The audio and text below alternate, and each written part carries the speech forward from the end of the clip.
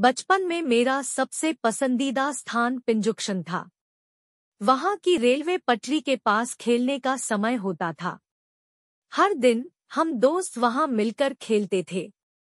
चारों ओर ट्रेनों की दहाड़ बसी रहती थी, पर हमारे लिए वहाँ खेलना सब कुछ था। एक दिन हमने सोचा कि क्यों न रेलवे पटरी पार करके उस तरफ़ भी जाए जहाँ अब तक नहीं गए थे।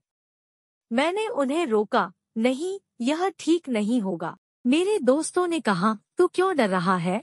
हमें पार करना है। मुझे भी अच्छा लगा, इसलिए मैंने भी हाँ कह दी।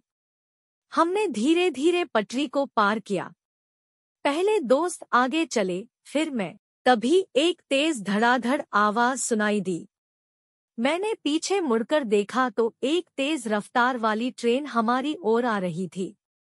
मैं भागने की कोशिश करने लगा, पर मेरी टांग पटरी में फंस गई। दोस्तों ने मेरी मदद के लिए हाथ बढ़ाया, पर मैं नहीं निकल पा रहा था।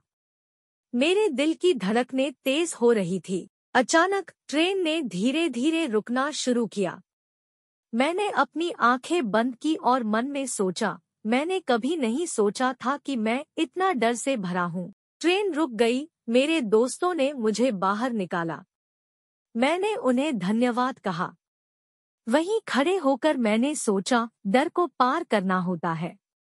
डर वहाँ होता है, पर मैंने उसे नहीं हारा। उस दिन से मैंने अपने डर को मात दिया। पिंजुक्शन के पास जाना मेरी ज़िंदगी का सबसे बड़ा सबक था।